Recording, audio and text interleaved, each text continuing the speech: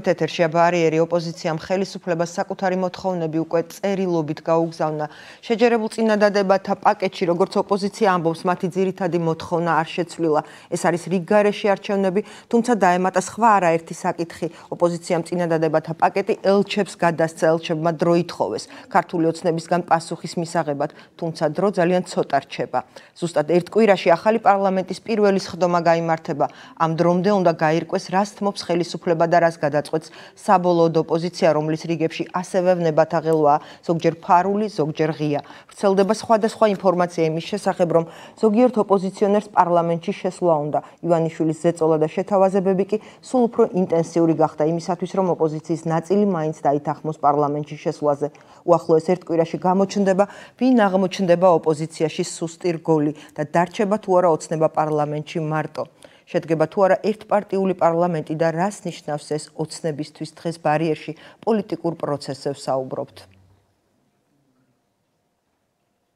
გადაცემის სტუმრების სხვა სხვა ოპოზიციური პარტიის წარმომადგენლები იქნებიან გადაცემის პირველ ბლოკში კი ჩვენი სტუმარია საქართველოს მეოთხე პრეზიდენტი გიორგი მარგველაშვილი. ბატონო გიორგი, მოგესალმებით, მადლობა გადაცემაში მონაწილეობისთვის.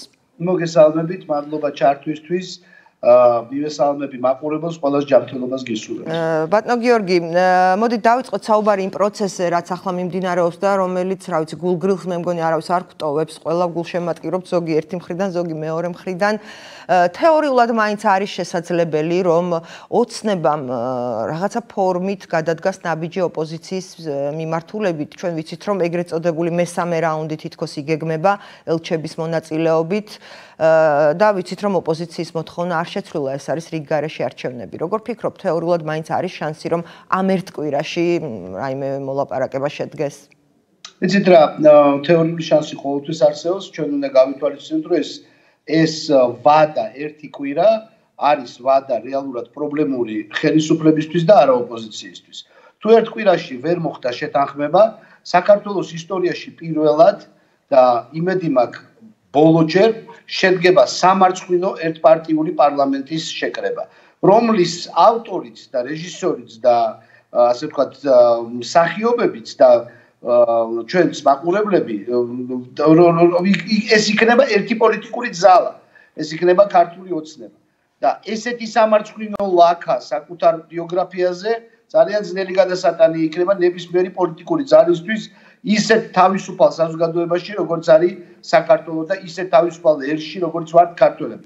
ასე რომ ეს კი თქვენ ძანეთ რომ პრობლემურია ხელისუფლებისთვის ეს ერთი კვირა, თუმცა არანაკლებ პრობლემურად გამოიყურება ოპოზიციისთვის. გარკვეული ვნებათაღელო არის, არ გამოდის ეს ყველაფერი იმდენად გარეთ, თუმცა ვრცელდება დაუზუსტებელი ინფორმაცია, რომ ზოგიერთ პარტიაში არის ვნებათაღელვა, ზოგიერთ პერსონას უნდა შესვლა, არის ზეწოლა, შანტაჟი, მოსყიდვა, ალბათ წარმოგიდგენიათ, ხო? ივანიშვილის არსენალი, რომელიც მან შეიძლება გამოიყენოს ოპოზიციის ლიდერების და რიგითი სის, რიგითი წევრების წინააღმდეგ ეგ რომ ვიღაც შევიდეს. აი არ ვიცი ხა დღეს კი არა და ეს დღეები გირჩი არის რაღაცა ტიპის უცნაური პროცესი. როგორც დღეს თქვეს მისმა წევრებმა ეს არ უკავშირდება პარლამენტში შესვლა არ შესვლას, თუმცა ძალიან უცნაური დამთხევა. ასევე მე არ მინდა რაღაც დაუსაბუთებელი და დაუზუსტებელი ჭორები ვავრცელო, თუმცა ვრცელდება ინფორმაცია, რომ სხვადასხვა პარტიებში არის რყევები და პრობლემები. ანუ მე მრჩება განცდა, რომ ოცნება მუშაობს. ოპოზიციისთვის არ არის განსაცდელი ეს ერთი კვირა? ჩვენ უნდა გავიაზროთ და თქვენ ძალიან სწორად დაახასიათეთ ის პროცესი, რაც მიმდინარეობს ჩვენი თვალთახედვის მიღმა და ის სპეციფიკა, რითიც მუშაობს ოცნების, ასე ვთქვათ, სამუშაო არსენალი, რაშიც მდგომარეობს და ეს სამუშაო არსენალი შედგება, რა თქმა უნდა, ადამიანების დაპირისპირების, გატეხვის და აი ამ მთელი პროცესის მორალურად გატეხვისკენ არის ორიენტირებული. მე არა მარტო შანტაჟს ვიტყოდი ნინო, ძალიან დიდი ნაწილი მთელი ამ პოლიტიკური პროცესის იქნება უკან დახევის პრინციპებზე უარის თქმით, ასე ვთქვათ, შე შეკმაზვა და მიწოდება რაღაცა ტკბილი ფორმით, რომ ეს კეთდება არა არა შეშინების, არა დაუშვათ უკან დახევის, არამედ ეს ყველაფერი საქართველოსთვისაა თურმე. ძალიან ყველა თითოეულ მათაგანთან, აი არ ვიცი, რომელი პარტიაც გინდათ აირჩიეთ, ვისთვისაც რა არის მნიშვნელოვანი და ღირებული, მივლენ იმ წინადადებით და ეთქვიან, რომ თქვენთვის ევროპული არჩევანია მთავარი, აგერ ევროპავს უნდა ეს ყველაფერი. თქვენთვის დასავლეთი ამ თავარი აგერ ნატოში შესასვლელად გვინდა ეს ყველაფერი. აქ ადამიანებს უკან დახევას პრინციპებზე უარის თქმას შედაუტკბილებენ ასე ვთქვათ იდეალებზე ბატონო გიორგი ასეთი გალანტურია ივანიშვილი პოლიტიკური თამაშებისას ასე გალანტურად იქცევა და ფუთავს მოსყიდვის თუ დაშინების ცელს მე მაინც ვფიქრობ რომ ბევრად ესეთი მარტივი და ხისტი ბერკეტები აქვს, როგორიც არის ფული, როგორიც არის შანტაჟი, შეშინება ადამიანების და ეს პროცესი მიდის. აი, მაქვს განცდა რომ მიდის ეს პროცესი. ნინო მე ეს ნინო მე ამაში დაგეთახმეთ, მე კიდევ ერთი მომენტი მოგაწოდეთ, რომელსაც ამას ამას და ამას მე თეორიულად კი არ ვსაუბრობ, ამას მე ვსაუბრობ იმ ხუთწლიანი გამოცდილებით, რომელიც მაქვს და არასდროს ამაზე არ ვსაუბრობ ხოლმე ესე კონკრეტულად, მაგრამ ის მეთოდები, რომელიც გამოიყენება, აი ამას გეუბნებით. სწორედ აი ეგრეთ წოდებული ექსპერტების სახით, ეგრეთ წოდებული ახლობლების სახით, იმ სახით, ვინც შენზე შეიძლება მოახდინოს გავლენა, პირდაპირ თუ ირიბი. ცდელობა არის, რომ ადამიანები გატეხონ ძალიან მარტივ სიმართლეში. და მოდით შევხედოთ რაზე არის აქ საუბარი. ძალიან მარტივი სიმართლეა. შენ მე გითხარი რომ შენ მოიპარე შენ მეკითხარი რომ შენ ითაღლითე და მე არაფერს არ ვაფუჭებ, ასე ვთქვათ, არაფერ გადატრიალებას არ ვახორციელებ. მე უბრალოდ ამაში არ მოყვები.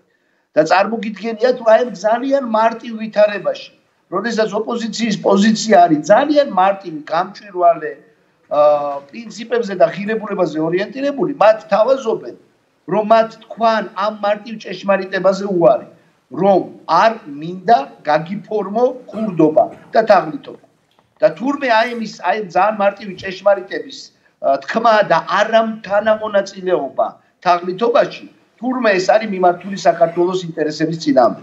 აი ეს არის ის პროცესი, რომელიც მიმდინარეობს, ასე ვთქვათ, კადრს მიღვა, ამ პროცესს უპირისპირდებიან ის ლიდერები, რომლებსაც ოპოზიციურმა ამორჩეულმა მივეცით ხმა და მინდა კიდევ ერთი, ასე ვთქვათ, შიდა სპეციფიკა გავანტო მათაც და მაყურებელს. პირველი ვინც ამაზე ხელს მოაწერს და პირველი ვინც ამ ასე ვთქვათ უკან დახევაზე ხელს მოაწერს ასე ვთქვათ მაღალი იდეალების საფარქვეშ ის პირველი გახდება მთავარი ასე ვთქვათ სამიზნე მომავალი სამიზნე ოცნებისათვის. ეს ის სპეციფიკა ასევე რომელსაც გიზიარებთ ბევრი მაგალითის მაგალითის მნახველი ანუ ივანიშვილი არასოდეს არიცავს შეთანხმებებს და პირობებს. ამის თქმა გინდათ და შემდგომში მათ ამიტომაც ელით დარტყმა თქვა ვინც მას მის წინადადებას დახარბდება ან შეშინდება ან დათანხმდება ხო? კი ბატონო, იმიტომ რომ ის ხდება ყველაზე იოლის სამიზნე და ის ხდება ყველაზე ბატონო გიორგი, ასეთი კითხვა ასეთი კითხვა მინდა დაგისვათ, თავიდან იყო ბევრი ასთა სხვადასხვაობა იყო, იყოს თუ არა სწორი ნაბიჯი და გადაწყვეტილება ოპოზიციის ბოიკოტი. ბოლომდე არავინ არ იყო დარწმუნებული, რომ ეს ნაბიჯი იყოს სწორი, მათ შორის არც მე არ ვიყავი, თუმცა რაღაცა ინტუიციამ კარნახობდა, რომ სწორი შეიძლება და ყოფილიყო ეს ნაბიჯი. ბევრი საპირისპირო არგუმენტებით გამოდიოდა და არც თუ უსაფუძვლო არგუმენტებით. თუმცა ვფიქრობ, რომ აჩვენა, რომ ეს იყოს სწორი იარაღი ოპოზიციის ხელში. აი დღევანდელი გადმოსახედიდან როგორ ფიქრობთ? აი თუ გავითვალისწინებთ იმას, რაოდენ მონდომებულია ოცნება, რომ ოპოზიცია შეიყვანოს პარლამენტში. აი დღევანდელი გადასახედიდან ეს იყო სწორი გადაწყვეტილება, თუ უბრალოდ უალტერნატივო იყო, თუ რამე სხვა ალტერნატივა არსებობდა იმისათვის, რომ ოპოზიციას გაეპროტესტებინა გაყალბებული არჩევნები და რაღაცა ცვლილებებისთვის მიეხ მიღწია. ნინო, დავიწყებ იმით, რომ მე როგორც ოპოზიციურმა მომრჩეველმა, როდესაც შემოვხაზე ოპოზიციური, ასე ვთქვათ, ზალა ბიულეტენში, მე რეალურად უფლება რომ იმოქმედონ და იმოქმედონ აი ამ რაღაცა კონკრეტული პოლიტიკური გადაწყვეტილებები აკეთონ საქართველოს პოლიტიკურ პროცესში. მე ამითი მივანიჭე მათ 4 წლით ამ ჩემ ბიულეტენის შემოხაზვით. და როდესაც მე მათ ეს ეს უფლება მივანიჭე 4 წლით, ბუნებრივია, მე ამ მომენტში ვენდე მათ, რომ მათ გააჩნიათ პოლიტიკური უნარი, ასე რომ პირველივე დღე დღიდან მე მარტივად რო გითხათ, არ დამიყენებია ეჭქვეშ, არა იმიტომ რომ არ დავშოთ, არ შეიძლებოდა სხვა ვარიანტის განხილვა, არამედ იმიტომ რომ კონკრეტულ პოლიტიკურ პროცესში პოლიტიკოსი არის მოქმედი პირი.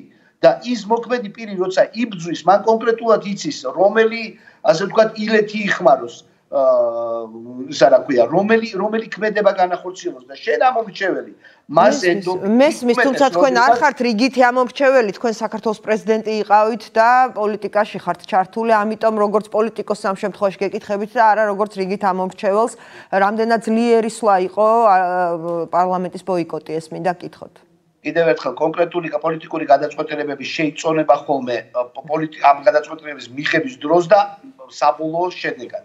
მოდით ესე გეტყვით. დღეს მიმაჩნია, რომ ეს არის ტაქტიკურად და გადადგმული სწორი ნაბიჯი იმ სტრატეგიის ფონზე, რომ ჩვენი მიზანია არ ვიყოთ მონაწილე თაღლითობის და არჩევნების მოპარვის. რა არის ამ გზის მთავარი მახასიათებლები? პირველი ეს არის პრინციპულობა, რომელიც უნდა გამოიჩინო ამ გზის ამ გზის ფონზე და ეს პრინციპულობა ასე და მეორე დრო ანუ შენ უნდა გქონდეს უნარი ეს პრინციპულობა დროში გაწევა. და რაც უფრო მეტი დრო გავა მით უფრო მეტად შენ იქნები მოგებული პოზიციაში მოგებულის პოზიციაში. ეს მეორე პრინციპული მომენტია და ეს მინდა რომ სპეციფიკა დავანახო მაყურებელს. აქ არ არის ეს არ არის პოლიტიკური ნაბიჯი რომელიც გადაგათვლილია დიდ მიტინგებზე დიდ პოლიტიკურ პროცესზე, ასე ვთქვათ, დიდ რაღაცა ხალხის მღელვარებაზე. ეს არ არის 2003, როდესაც პოლიტიკოსებმა გადაწყვიტეს, რომ არ შედგეს პარლამენტი და ასე ვთქვათ, სახელმწიფოს აა რაღაცა აი კრიზისის გზით წავიდნენ. ხო, მაშინ პარლამენტის არ შეკრება უკვე ავტომატურად სახელმწიფო გადატრიალებას ნიშნავდა. აქედან გამომდინარე, აა შეაფასეს რა თავიანთი რესურსები და თქვენსო ჩვენ ვიქნებით პრინციპულები აი ამ მიუღებლობაში თავარი არის ახლა ეს პრინციპულობა გაიწელოს დროში და დროში გაწერილი ეს პრინციპულობა მოუტანს სულ უფრო დაასუსტებს ერთპარტიულ პოლიტიკურ ძალას და სულ უფრო გააძლიერებს ოპოზიციას. ანუ სწორი გზა არის არ შესulis გზა. იმავალი თამაში. სწორი გზა არ შესulis გზა. ძალიან მნიშვნელოვანია დასავლეთის პოზიცია, ასე არ ვიტყოდი რაღაცა განზოგადებულად, მოდი ასე ვთქვათ, საქმეში ჩართული დიპლომატების პოზიცია და სხვა სხვა სტრუქტურების პოზიცია არ განვაზოგადებ მთლიანობაში, რომლებიც მოუწოდებენ ოპოზიციას, რომ შევიდეს პარლამენტში და იქიდან იბრძოლოს. ისინი ძალიან მნიშვნელოვანი არ ამბობენ, რომ ეს იყო კარგი არჩევნები, აი იგივე სახელმწიფო დეპარტამენტის დახურული ბრიფინგის ჩანაწერი, როდესაც გამოქვეყნა, იქ არ იყო საუბარი იმაზე, რომ ეს იყო კარგი არჩევნები. უბრალოდ ისინი ამბობდნენ, რომ ეს იყო ცუდი არჩევნები, მაგრამ თუ გინდათ, რომ უკეთესი იყოს მომავალში შედით და შეცვალეთ. მე რენ ოპოზიცია ამაზე პასუხობს, რომ ინსტიტუციები არ გაგვაჩნია და ამიტომ საჩევიდეთ რომელ ინსტიტუციაში და შეგნით როგორ ვიბრძოლოთ, მაგრამ მერისი თქმა მინდა, ცოტა იმედგაცრუება ჩნდება ხოლმე ხანდახან, რომ აი რატომ დასავლეთი ღიათ არეუბნება ივანიშვილს, რომ შენ მოიპარე არჩევნები, შენ წადი მოშორდი და ასე შემდეგ, ცოტა უტრირებას ვაკეთებ, მაგრამ ცოტა იმედგაცრუება ჩნდება ამასთან დაკავშირებით, რომ რატომ მიდის ზეწოლა ოპოზიციაზე, რომ აი მოდი შედით პარლამენტში და რატო არ მიდის ოცნებაზე ზეწოლა, რომ დათმე ახლა შენ. თქვენ როგორ ახსნით ამ პროცესს, თქვენ მიგიღიათ არაერთ პროცესში მონაწილეობა?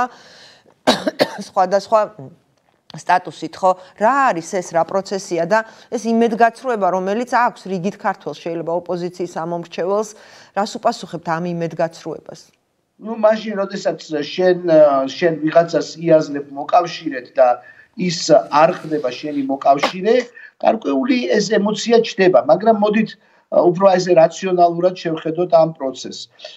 პირველ რიგში ჩვენ საუბრობთ იმაზე რომ აა ამ ქვეყნებისთვის დღეს ძალიან რთული პერიოდია. ბევრი თვალსაზრისით პირველ რიგში ეს არის კოვიდი რომელიც საერთოდ პოლიტიკური ასე ვთქვათ აქტივობის და საერთაშორისო აქტივობისთვის ნებისმიერი აქტივობისთვის სერიოზული შემაფერხებელია და ამ ხარ რამ არის რამთელი სოფლიო კრიზისში კიდე შესაძლო კრიზისების დავიდანაცილება ასე ვთქვათ ბუნებრივი ინსტინქტია მათ შორის ჩვენი მოკავშირეებისგან მეორე სპეციფიკა მდგომარეობს იმაში რომ შეერთებულ შტატებში ძალიან რთული საარჩევნო პროცესი იყო და რომელიც ჯერ კიდევ არ დასრულებულა და არ ჩამოყალიბებულა ახალი ადმინისტრაცია და მოდით ვთქვათ კიდევ მესამეც და მთავარი რეალური დემოკრატიის აშენება ჩვენი საქართველოს მოკალაქეების საქმეა. ჩვენ თუ შევადარებთ იმას რომ რეალურად ვინ უნდა ააშენოს ამ ქვეყანაში დემოკრატია ჩვენი პასუხი არის ერთმნიშვნელოვანი და მარტივი ჩვენ საქართველოს მოქალაქეებმა ჩვენ მოკავშირეები შეიძლება ყავდეს ამ პროცესში, ძალიან კარგია თუ გვეყოლებიან. ძალიან კარგია თუ პროაქტიურები იქნებიან, მაგრამ დემოკრატია ასაშენებელია ჩვენ მიერ. ახლა არ ვერიჩენენ დღეს ჩვენი მეგობრები ამ ამ ამ სერიოზულ დახმარებას ვერ გვაძლევენ ეს არ ნიშნავს რომ მე დღეს ჩემ თავისუფლებაზე უარი თქვა ჩემ დემოკრატიაზე უარი თქვა. მაშინ საერთოდ გამოდის რომ ეს თავისუფლება ჩემთვის მნიშვნელოვანი არ არის. თუ მე თავისუფლებისთვის ვიბძვი იმიტომ რომ ევროკავშირმა დამიჭიროს ხარია შეერთებულმა შტატებმა ბრიტანეთმა გერმანიამ ჩემთვის არ მდომებია ეს თავისუფლება. იმათვის მდომებია. აქედან გამომდინარე აქ ბრძოლას ალტერნატივა არ გააჩნია არანაირი და ღირებულებების ასე ვთქვა დათმობა იმიტომ რომ სხვებს ამ მომენტში შენთვის არ სალიათ არასწორია.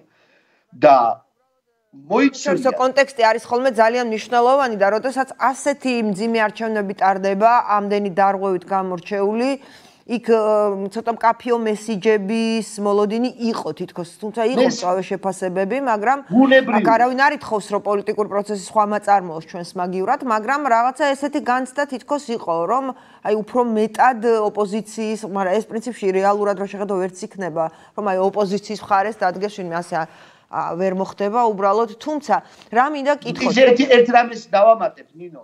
აა მოდით გაზაფხულის ასე ვთქვათ ძალიან აგრესიული რიტორიკა გავიხსენოთ ქართული ოცნების უბრალოდ ნოემბრის ასე ვთქვათ თაღლითობის მერე ძალიან აგრესიული რიტორიკა გავიხსენოთ დასავლეთიდან.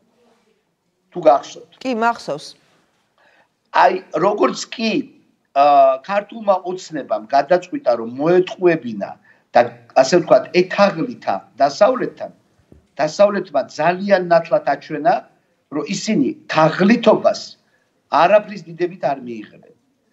დღეს ჩვენი დასავლელი პარტნიორები გვეუბნებიან, რომ თქვენთან ახლა მოხდა დაღლიტობა, თქვენ საქართველოს მოქალაქეები მოგატყუეს, მოგპარეს, ითაღლითეს და ახლა ეს უკვე ჩვენი ჩვენი გადასაწყვეტია. მათ ხო არ შეარჩინეს ქართულ ოცნებას თაღლითობა, ნოემბრის თაღლითობა, რაც უკვე იმათთან რო დადეს ვალდებულებები უცებრო შეუცვალეს. ხო ძალიან ხო ძალიან კონკრეტულები და აგრესიულები და ძალიან კაფილები. კი ბატონო, მოდით დღევანდელი ჩვენ მოგვაწყვეს. ეს უკვე ჩვენი ასარჩევია. ჩვენ ტყუილს გადავყლაპავთ და თაღლითობას გადავყლაპავთ და მოპარვას გადავყლაპავთ. თუ არ გადავყლაპავთ ბატონ გიორგი, მოდი დღევანდელ ვითარებაზე გადმოვიდეთ ისე ცოტა სხვა კუთხით, ანუ როგორც ჩან საკითხის ღირებულება ფასი ძალიან მაღალია ქართული ოცნებისთვის. მართლაც ივანიშვილ სხვა შორს წამოცდენაც კი ქონდა, როდესაც მივიდა მეორე ტურში არჩევნო უბანზე, რომ აი მე ყველაფერს ვაკეთებო თუ მე ვცდილობო, რომ ყველაფერი მე რა თქვა რომ არა ყველაფერი კარგად იქნებაო, მაგრამ მანამდე რაღაცნაირად წამოცდა, რომ მე ყველაფერს ვაკეთებო, რომ პარლამენტიო მრავალპარტიული იყოსო. ფაქტია, რომ ოცნება ცდილობს, რომ მრავალპარტიული იყოს ეს პარლამენტი, დარწმუნებული ვარ არა იმიტომ, რომ იქ უნდა რომ მაგალითად ნახოს, რა ვიცი მე, ნაციონალური მოძრაობის რომელიმე ლიდერი, ან ვინმე გირჩელი, ან რა ვიცი, ნებისმიერი. სხვა, უბრალოდ ის როგორ ჩანს ხდება, რომ ძიმე იქნება ერთპარტიული პარლამენტით არსებობა და თქვენი აზრი მაინტერესებს როგორ წარმოგიდგენიათ ერთპარტიული პარლამენტის ფუნქციონირება? საერთოდ შესაძლებელია. იგივე დასავლელი დიპლომატები თუ სახელმწიფო სტრუქტურები თუ მაღალჩინოსნები აი მაგალითად რა ვიცი ამერიკის პრეზიდენტი ამერიკის სახელმწიფო მდივანი. ვიცით რომ ადმინისტრაცია იცვლება ხო? თავმოყარე სახელმწიფო იურთიერთებს ისეთ ისეთ ქვეყანასთან, ისეთი ქვეყნის ხელისუფლებასთან, სადაც არის უბრალოდ ერთპარტიული პარლამენტი. როდესაც უკვე ეს იქნება შემდგარი ფაქტი, მე რე ოპოზიციას ვერავინ ვეღარ დაუწყებს დევნას, რომ აი რატო არ შეხვედი, შეხვედი, უნდა შესულიყავი, არ შესულიყავი. მე რე ეს იქნება უკვე შემდგარი ფაქტი. მოდით ერთად წარმოვიდგინოთ, როგორი იქნება ეს ერთპარტიული პარლამენტი, მისი ურთიერთობა გარესამყაროსთან, ქვეყნის შიგნით როგორი ფუნქციონირებს, შეგიძლიათ წარმოიდგინოთ ეს? Ну პირველ რიგში ჩემთვის ძნელი წარმოსადგენია ამ პარლამენტის ლეგიტიმურობა ისეთ საზოგადოებაში როგორიც ვართ ჩვენ ქართველები და რა პოლიტიკური ღირებულებებითაც გვიცხოვრია და გვიომია და გვიბძოლია ძალიან ბევრ ჩვენთაგანს 10 წლეულების განმავლობაში. ეს იქნება ისეთი მართლა აი დაღდასმული პოლიტიკური წერტილი რომ ისეთი ლაქა იქნება ჩვენს იმ პარტიაზე, რომელიც ამას გააკეთებს, რომელსაც ძალიან ძნელად თუ ისტორიაში გავექცევით, ხო, იმიტომ რომ არ ყოფილა ეს ქვეყანა თავის თავს სოფლიო რუკაზე ამტყვიდრებდა როგორც თავისუფლების მოყარე ქვეყანა და დემოკრატიული ქვეყანა. და მაშინ ყოველთვის შესაძაც აქედან გადახვევები იყო საზოგადოება იძლეოდა ძალიან კონკრეტულ რეაქციას და ძალიან კონკრეტულ ასე ვთქვათ გზავნილს აძლევდა ხელისუფლებას. აქ სწორედ ამიტომ გეუბნებით რომ ეს 7 დღე რომელშიც უნდა შედგეს ახალი პარლამენტი ეს 7 დღე ფორს მაჟორი იმ პოლიტიკური ძალისთვის არის რომელიც სრულიად ასე ვთქვათ საქართველოს ისტორიისთვის სამარცხვინო საპარლამენტო პრეცედენტ შექმნის ერთპარტიულობით. ეს ერთი. ახლა მეორე, რა თქმა უნდა, ურთიერთობენ აა სხვა ქვეყნები ავტორიტარულ და ტოტალიტარულ რეჟიმებთანაც. აა თუმცა არა ისეთი რანგის პარტნიორის სტატუსით, როგორიც მათთვის არის საქართველო, მაგალითად ამერიკაისთვის საქართველო რა ტიპის პარტნიორიც არის, ამ ტიპის პარტნიორი არ ვიცი, რომელი ავტორიტარული რეჟიმია. ამერიკის. ნებრივია ეუთიერთებიან ჩtildeოეთ კორეასაც თარაც არის უთიერთობა. თუმცა თუმცა ასეთი თანამშრომლობა, პარტნიორობა, დაფინანსება, ამერიკელი გადასახადის გადახდელის ფულით უამრავი პროექტის დაფინანსება, თავდაცვის პროექტები და ასე შემდეგ გამახსენეთ. აბა სადაგლივია ეს ეს ეს იქნება უპრეცედენტო ცვლილება ყოველი მათაგანის დამოკიდებულებაში ჩვენს მიმართ. სულ როკეტილად გაიყვნენ განწყობილები და მათთვის ასე ვთქვათ ივანიშვილი იყოს ჯეფერსონი და ასე მიაჩნდეთ. შიდა პოლიტიკური პროცესი არ მისცემს მათ უფლებას, რომ ქვეყანას, რომელიც არის ერთპარტიული და პარლამენტში არის ერთი პოლიტიკური ძალა, რომელმაც დაიჟინა რო არის ხელისუფლება, და ამ პოლიტიკურ ძალას მართავს ასე ვთქვათ სადღაც გვერდით გასული პოლიტიკური ლიდერი რომ ამ ქვეყანას ეურთიერთონ იგივე სტატუსში რა სტატუსშიც გვეურთიერთებოდნენ მანამდე. მიუხედავად ჩვენი ბევრი პრობლემების რაც გქონდა გამორიცხულია ანუ ბუნებაში შეუძლებელია რომ ამ ქვეყანას ესაუბრო ამ ხარისხის პარტნიორობაზე იმიტომ რომ მე მინდა ყველას გავახსენო რომ ჩვენი პარტნიორობა სწორედ დემოკრატიის და საერთოდ ევროპული და ევროატლანტიკური ღირებულებების ფუნდამენტია, მაგრამ თავი დავანებოთ უცხოელებს. თქვენ გონიათ რომ ქართული საზოგადოება აი ესე წყნარად მიიღებს ერთპარტიულ აი ამ რა თქმა უნდა, როცა მოსახლეობის ამორჩევლის 52%-მა ცესკოს მაჩვენებლებითაც კი ხმამისცა ოპოზიციას და 48%-მა ოცნებას ეს მართალია საეჭო და სადაო ციფრებია, მაგრამ მაინც თვით ცესკოს მიერ აღიარებული შედეგებითაც კი ოცნებას მხარს არ უჭერს საქართველოს მოსახლეობის უმრავლესობა. წარმოგიდგენიათ ასე ფორმაში. ან ქვეყნის შიდა შიდა პოლიტიკური პროცესი, ან ქვეყნის გარე პოლიტიკური პროცესი. ახლა ამას და როგორ წარმოგიდგენიათ გითხარით, მოდით აი რაღაცნაირად. წარმოგიდგენი, ამას დაამატეთ, ამას დაამატეთ ეკონომიკური კრიზისი და ჯანმრთელობის ჯანდაცვის სფეროს კრიზისი COVID-ს გულისხმობ. და რანაირად წარმოგიდგენიათ ამ ქვეყნის მართვა? მართლა ეს კომიკური კომიკური შეხედულება. ბიძინა ივანიშვილის არა პოლიტიკოსები არამედ მენეჯერები მართავენ ქვეყანას და მენეჯერი ირჩევა ლოიალობით და არა ექსპერტიზით. აი ეს კომიკური შეხედულება ეხლა ხო სერიოზულ გამოცდას გაივლის და რანაირად წარმოუდგენიათ. დღეს მაგალითად ერთ-ერთმა პოლიტიკურმა ეხლა ყველაფერს ხომ ანამდე ყველა ყველა ჩაფლავება და ყველა პრობლემა ნაციონალებით იმას შვებოდა ასე ვთქვათ მართლდებოდა დღეს ერთ-ერთი იმიდან მოვისმინე რომ ვინც აკრიტიკებს სისტემას არის კოვიდის მოკავშირე. ანუ ჩვენ შევდივართ არა ეს დიდი ხანია არის კოვიდის მოკავშირეს ფრთიანი ფრაზა დიდი ხნის წინ მოიგონეს ჯერ კიდე პირველი ტალღის ესე იგი ჩვენ შევდივართ კოვიდის ხარეს არიანო ეს მოიფიქრა. კი ბატონო ანუ ჩვენ პროპაგანდა დიდი ხანია ჯერ კიდევ გაზაფხულზე. ჩვენ შევდივართ პოლიტიკური აზროვნების ფაზაში როდესაც აა როდესაც ჩვენი რაღაცა თავისთავად დანიშნული პოლიტიკოსები მიებძვიან როგორც პოლიტიკურ მწერს ებძვიან ვირუსს და მოქალაქეები მიაჩნიათ ვირუსის მოკავშირეებად. ეხლა აი რამდენად წარმოგიდგენიათ ეს ასეთ ვითარებაში? ქვეყნის მართვა, ქვეყნის რაიმე მიმართულებით წარმართვა და რაც თავარია. ამ პროცესში რაღაცა რაიმე სახის გამოსავლების ძიება იმ პოლიტიკური ძალისგან, რომელსაც გონია რომ პოლიტიკოსები ვირუსებთან არიან შეთქმულებაში შესული. ბატონ გიორგი, მე უნდა დავასრულოთ ჩვენ და ბოლოს კითხავთ ერთი კვირა ზუსტად, ერთი კვირის თავზე უნდა გამართოს ახალდარჩეული პარლამენტის პირველი სხდომა, რამდენადაც ვიცით. და ამ დღეს ოპოზიციამ თუ რამე არ შეიცვალა, ისინი ამბობდნენ, რომ აპირებენ სიების უკან გაწევას და ყველა ერთად აპირებს განცხადების დაწერას. იმისათვის რომ შეიწყვიტონ უფლებამოსილება, ну, რა თქმა უნდა, მე კობახიძემ უნდა გაუშვას. ის ამბობს, რომ არ გაუშვებს და არ შეუწყვეტენ უფლებამოსილებას, თუმცა ვფიქრობ, რომ ეს შეუძლებელია და თუ ეს განცხადება ყველას იქნება, ალბათ გაუშვებს ოცნება, მეტი გზა არ ექნება. მე რა მინდა გითხოთ? საკმაოდ დრამატული ერთი კვირა ნერვიულობს ყველა. უყურებთ და გრძნობთ, რომ თვითონ ოპოზიციურ პარტიებში შიგნით რაღაცა ტიპის პროცესები მიმდინარეობს. ყოველ შემთხვევაში არის ტოტალური ეჭვიანობა, რომ აი ვიღაცას უნდა შესვლა, არა მხოლოდ ეჭვიანობა, არამედ ინფორმაციებიც არის, რომ აი კონკრეტულ პარტიაში ვიღაც ამბობს, რომ ჯობს შევიდეთ და მე დანარჩენები ამბობენ რა. არა და მოკლედ ძალიან რთული პროცესი მიდის. და ფაქტია ისე ვიტყვი იმას რაც თქვი დასაწყისში რომ ოცნება მუშაობს როგორც ჩანს ეს ერთი კვირა ძალიან ბევრს იმუშავებს. თქვენ როგორ ფიქრობთ ამ ერთი კვირის თავზე რას მივიღებთ? მაინც გითხარით თქვენი აზრი და ამით დავასრულოთ. ა ნინო მინდა გითხრათ შემდეგი. პირველი რომ ნახეთ რა ვით რა არჩევანის წინ მესმის და კიდე ამით დავიწყე რომ ძალიან რთულ პიროვნულად რთულ და პრესინგის ქვეშ არიან ჩვენი ოპოზიციური ლიდერები, მაგრამ მათ წინაშე დევს ძალიან მარტივი არჩევანი. თუნდაც აი განცხადებების ფონზე რაც ახლა თქვენ ახსენეთ ქართული ოცნებიდან. მათ თავაზობენ შემდეგ შემდეგ რეალობას.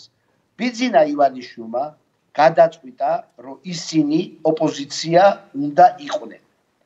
მეტიც, თუ არ იქნებიან ოპოზიცია, თუ იმ როლს არ მიიღებენ, რომელიც ბიძინა ივანიშვილმა ქართულმა ხალხმა კი არა ბიძინა ივანიშვილმა გადაწყვიტა მათთვის მაშინ ისინი დაფინანსებასაც არ მიიღებენ. ანუ წარმო მე კობახიძე გადაწყვეტს ისინი პარლამენტში იქნებიან თუ არა და თუ არ მოუნდა კობახიძეს არც გაუშვებს.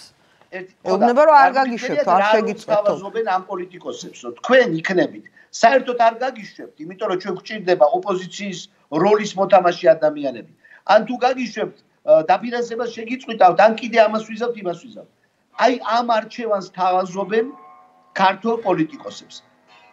არჩევანს ფაქტიურად, როდესაც მესიჯები დაიწერება ქართული ოცნების ოპოზიციის მესიჯები დაიწერება ქართული ოპოზიციის ოცნების შტაბში და ისინი იქნებიან გამხმოვანებლები ოპოზიციის ოპოზიციას რა უნდა მოეწონოს ან არ მოეწონოს? ფაქტია რომ ძალიან გახსნილი ბრძოლა მიდის და მე არ მინდა ვინმე სტიგმატიზაცია ან იარლიყების მიკერება მაგრამ თუ დღეს ამას იქით რომელიმე ოპოზიციონერი გამოვა და იტყვის რომ მე შევდივარ პარლამენტში მე მგონი უკვე ცხადია მას მასზე რა შთაბეჭდილება დარჩება და რა ბედს აირჩევს ის და რა იმიჯს და რეპუტაციას აირჩევს ის სამომავლოდ არის. ხო, ყოველ შემთხვევაში შეიძლება მე ძალიან რადიკალური ვარ.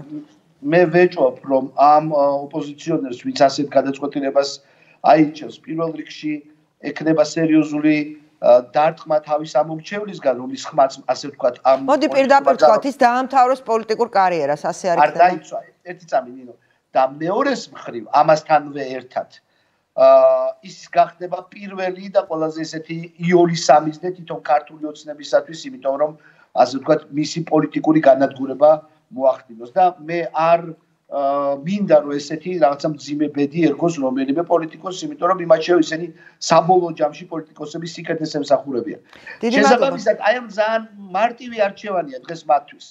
ან ისინი ჯდებიან აა იმ მესიჯ ბოქსზე, რასაც როშევლენ პარლამენტში მათ უკვე ბიძინა ივანიშვილი ანუ ქართული ოცნება გამოუგზავნის და ისინი იქნებიან არა ოპოზიციონერები, არამედ ოპოზიციის როლის მოთამაშეები პარლამენტში.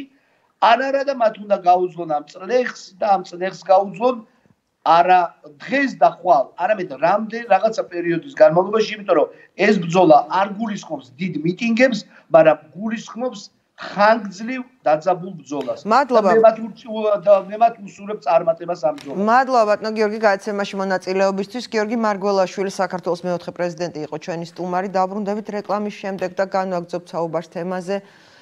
დრამატული და ძალიან რთული ერთი კვირის შესახებ, ვინ აღმოჩნდება სუსტი რგოლი ოპოზიციაში, ვეცდებით ამის გარკვევას, თუმცა ჯერჯერობით რთული იქნება ამის გარკვევა, დაბრუნდებით ძალიან მალე.